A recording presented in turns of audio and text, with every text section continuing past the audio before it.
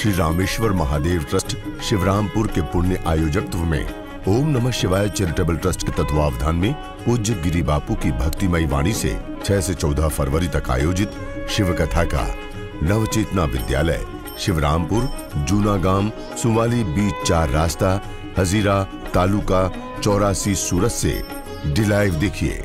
आस्था भजन पर 7 से 15 फरवरी, प्रातः 9 से 12 बजे। On Aastha UK, 7th to 15th February 4 p.m. to 7 p.m. GMT. On Astha USA Canada 7th to 15th February 4 p.m. to 7 p.m. ET.